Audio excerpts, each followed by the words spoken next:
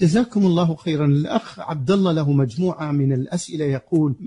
ما معنى حديث اتقوا الملاعن الثلاث وما المقصود بالملاعن ملاعن الثلاث قارعة الطريق